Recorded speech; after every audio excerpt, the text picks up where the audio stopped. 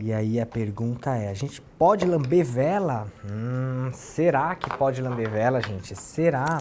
Então deixa eu ver. Eu vou acender. Primeiro eu cortei. Não sei se vocês sabem, mas a gente corta o excesso de pavio, porque esse pavio, quando ele queimar, quando ele carbonizar, vai ficar aquele cogumelinho que eu chamo, que é aquela parte preta. E essa parte preta depois pode cair dentro da sua vela, ou ficar com uma chama meio estranha. Então, corte e deixe com aproximadamente meio centímetro. Perfeito. Também porque o pavio já chega na cera ou no óleo, tá? E ele já acende forte. Não sei se vocês conhecem, mas isso é uma vela lambível. É uma vela que você pode lamber sim. Essa é uma vela que ela tem um cunho super afrodisíaco. Hum, oh, Deixa eu chamar a pessoa do Oi, pô, não, vem cá. Ai, para. Olha, e aí, Mi? Será que pode lamber vela? Ah, pode, que eu já fiz o teste. Ah! Vem cá, para uma aula muito já sensual. Deixa bem quente? Quanto, como a gente faz? Ela não sobe demais a temperatura. Então você deixa, faz uma pocinha, você apaga, e aí você Uhum. usa o que tá. tá. É, tá ó, profissional. A ideia é você deixar alguns minutinhos essa parte superior criar realmente aquela poça. Criou, apaga. Por quê? Nós estamos falando sobre propriedades aqui, como por exemplo o óleo de coco. A gente usa óleo de coco, pode ser o copra, pode ser qualquer outro, tá? Mas o óleo de coco, ó, é o principal produto daqui. Segundo produto, cera tá? Pouquinho, só para endurecer mesmo. E não ficar algo que, você, algo que você vai colocar o dedo e ele vai estar mole. E aí tem os segredinhos da história. É uma receita muito fácil. E um produto que se vende não muito barato. Um produto valorizado, para falar a verdade. Por quê? Porque quando você encontra velas de aproximadamente, tá? 50, 40, 50 gramas, a gente está falando de 58 reais. A gente está falando de uma vela que já é bem valorizada porque dura muito. Acendeu, virou essa poça, joga na mão e quente no corpo da pessoa, pode? Ela vai baixar, ela não vai queimar. Pode. Já fiz o teste. Pode porque não é tão quente. Calma, calma. Você colocar na mão é só para não escorrer no lençol. Então você põe na mão e passa no corpo da pessoa todo. Todo. Tá bom? E a ideia é que isso seja levemente adocicado. Levemente adocicado com o adoçante líquido que você entende que é o menos amargo. Tem gente que não gosta de adoçante porque acha amargo, mas vou te dar uma dica.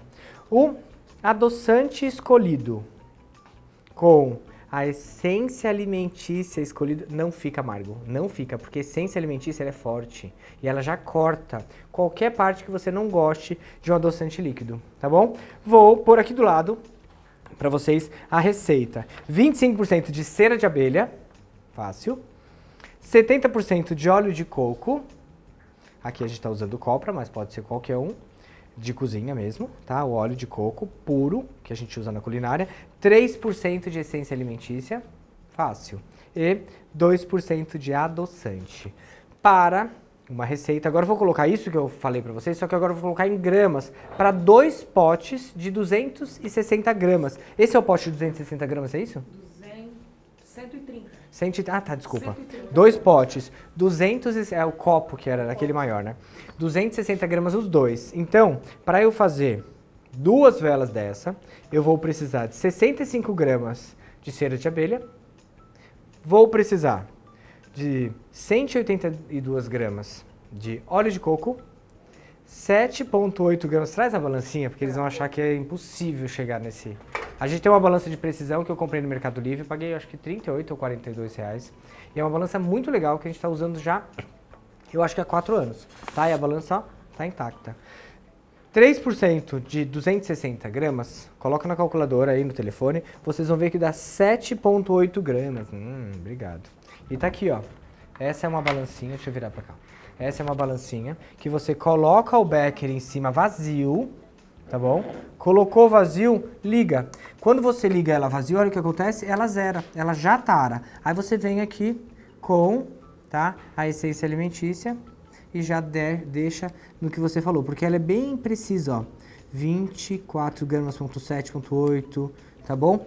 E aí a gente tem, então, 7.8 de essência alimentícia. Nós estamos usando uma essência Dark Color, que é a mais comum, tá? E acho que é uma das mais aprovadas, porque é muito fácil de encontrar no Brasil todo. Essência de morango Dark Color. Tem lá no nosso site também para vocês, tá? É bem baratinho. 2% de adoçante. Nós escolhemos o Adocil, qualquer um, tá? Que você goste. Adocil, que é um adoçante líquido com sacarina. E colocamos 5,2 gramas. Desse jeito, com essa balança, fica bem fácil vocês medirem. Então, tá aqui. Desliga. E outra, essa balança ela vem com uma tampinha para você não deixar nada em cima e não desregular sua balança. Muito importante, tá? Nunca deixe nada apoiado na sua balança. E agora, pra gente finalizar, já finalizar, sim, é facinho, gente. Você vai fazer o seguinte. Obrigado, Mi. Ó, temperatura baixinha. Obrigado. Nós já temos aqui a cera de abelha e o óleo de coco, tá? Esperando ele esfriar. A temperatura aqui já está em 50 graus. Me acabou de medir. Deixa eu de, de averiguar. Agora eu vou ver de novo. 50, exato. Olha, não mentiu, hein? Tá, 50. Ainda. Que ela acabou de medir.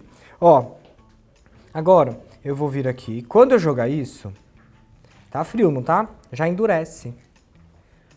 Ali dentro, não sei se você consegue ver ali. Ó. Será que dá pra ver? Eu vou pôr, coloquei o adoçante, o, o, a essência, agora vou colocar o adoçante. Em seguida, eu vou mostrar pra vocês. Mi, obrigado. Agora eu vou mostrar aqui, ó. Vê aí, ó, que essa câmera consegue aproximar bem. Olha quando eu joguei a essência e o adoçante, o que aconteceu? Deu pra ver? Fica essa escultura ali dentro. Agora o que eu faço? Venho com a colher de silicone, raspo a borda, que já esfriou, e começo a mexer. Mas, Peter, eu mexo para dissolver tudo e depois eu vou usar o soprador térmico ou colocar em cima do fogo bem rapidinho, tá bom? Ó, venho aqui, mexo, olha que fácil. Ó como virou um creme, olha o creme, olha o creme que tá virando. Pode mexer bem rapidinho. Ó.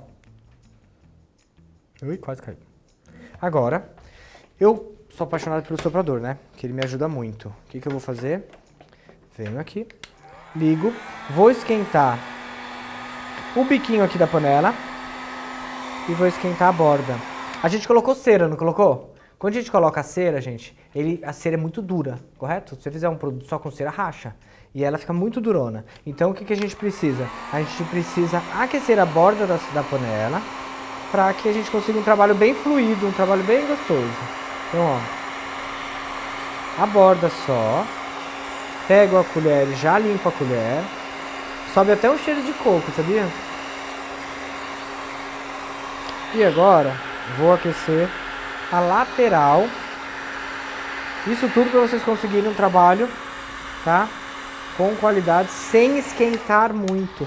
Mas, Peter, eu posso usar? Meu soprador jogou minha etiqueta lá longe. Ó, posso esquentar bastante? Então, não, porque você vai ativar aí essa fragrância, tá? Esse, esse aroma, né? Perfeito, ó. Olha a textura. Não endureceu total. A panela tá quentinha. Voltou para a temperatura ou para o jeito que estava antes de eu colocar a fragrância, ó. Líquida e bonita, tá bom? Agora a gente já colocou o pavio médio aqui dentro. Aqui são as tampinhas. E agora a gente vai simplesmente colocar até a borda. Quando eu jogo, eu já jogo em cima do pavio. Seguro aqui embaixo, ó. Olha minha mão de baixo segurando. Deixa eu ver. Um pouquinho mais. Fez isso, vem com o pavio para mim. Mesma coisa, jogo no pavio.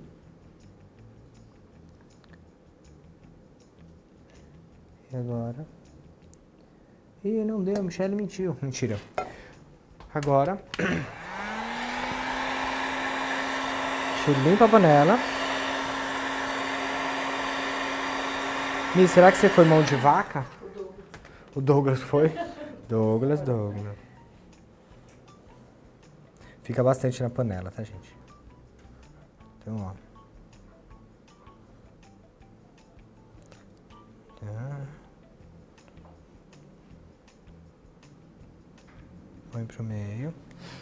É, se eu colocar um trisquinho a mais do lado de lá, vai faltar do lado de cá, né? Mas mesmo assim, ó, limpando a panela, coloquei agora no mais baixo, que sobrou quase nada, mas a gente já limpa, nosso cheiro é muito bom, gente. E o principal cheiro aqui tá o do coco agora, porque a fragrância alimentícia, nossa, gosto de criança, gosto de bala, né? Muito bom.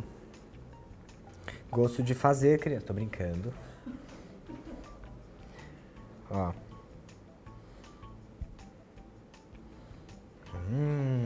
ficou um pouquinho mais do lado de lá, que eu acho que eu dei uma exagerada. Agora, venho com mais baixo, limpo o pavio, ó. Tá bom? Hum.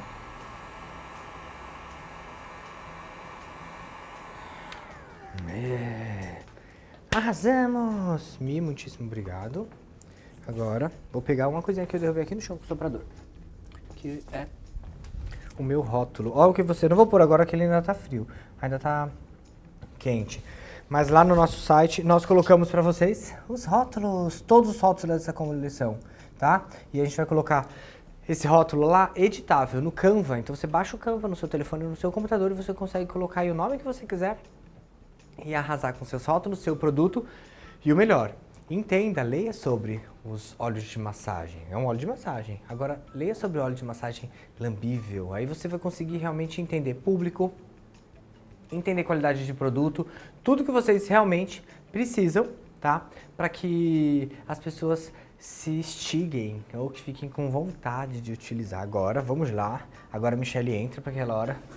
Ela fez assim agora. Eu tô olhando para vocês, estava olhando ela aqui, ó apaga, porque fez a poça, ó. Vocês podem... É que lá na hora você não vai ter isso chique, né? Que é baixar assim pra não ficar, ó. Pra não ficar o, a fumacinha. Mas, venho aqui, viro na mão. Vira só um pouquinho.